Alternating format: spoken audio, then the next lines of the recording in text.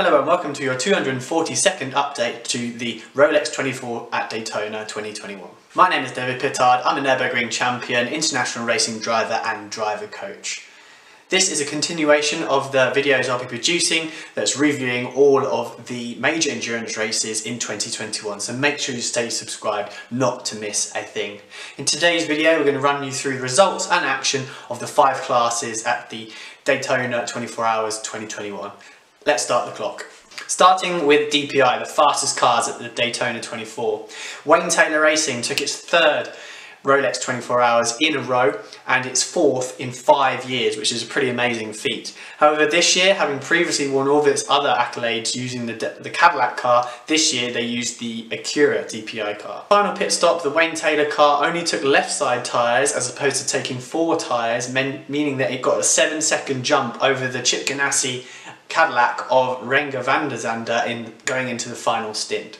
Renger van der Zande was on an absolute mission to try and catch his previous team and also capture Renger's third Rolex Daytona 24 hours in a row. With 8 minutes to go, he'd closed the gap down from over 7 seconds to being right on the back of the Wayne Taylor uh, Acura. However, some super aggressive use of the curbs to close that gap down in such a small amount of time resulted in a rear right puncture with only 8 minutes to go, meaning an unscheduled top stop to put another tyre on. The Ally Racing Cadillac came home in second after a spirited drive by Kamui Kobayashi and Mazda made it three different manufacturers on the podium in DPI as they fought from three laps down to come back to make the podium. LMP2 was decided in very similar last minute fashion with the Tower Motorsport LMP2 car pitting with five and a half minutes to go for a splash and dash to make it to the end, meaning that my friend Kyle Tilley and his Era Motorsport squad took honours in LMP2. Number 82 DragonSpeed car finishing three laps down in third place. Riley Motorsport seemed to be the closest guys that came anywhere near a clean run and were able to take home top spot in, in LMP3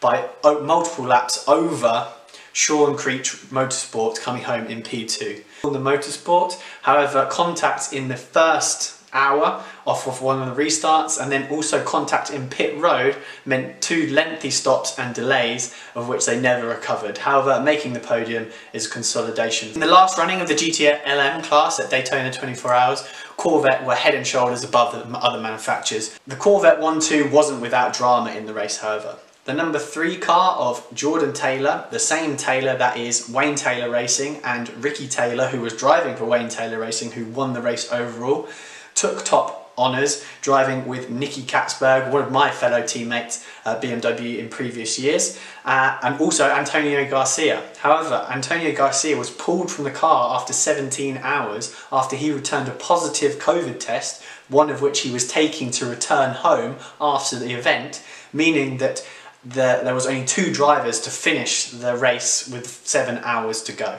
The final place on the podium was held by the number 24 BMW M8, driven by Augusto Farfus, John Edwards, Jesse Krohn and Marco Wittmann.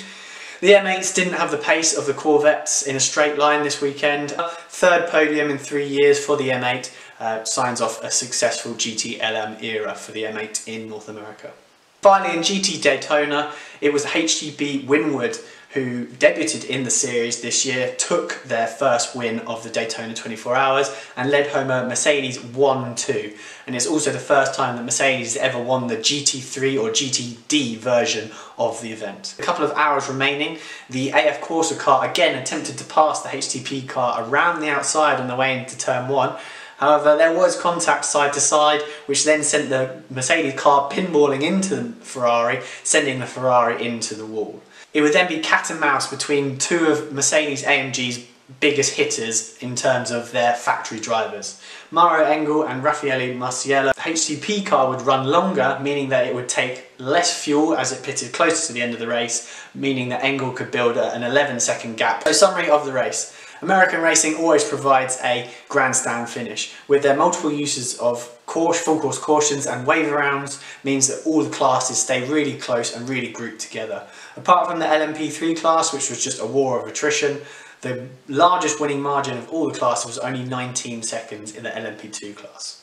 This means that the beginning and the middle of the race isn't all exciting because there's not really many race defining moments apart from cars crashing out.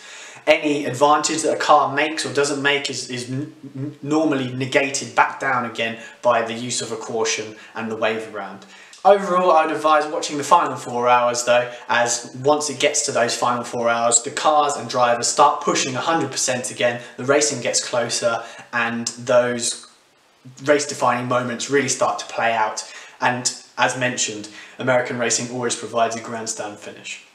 So please tell me what your favourite moment of the race was. Who was your favourite class winner? Whilst you're here, please make sure you check out this classic onboard down here. The last time that I raced in America just here and then stay subscribed up here. Until next time, bis dann.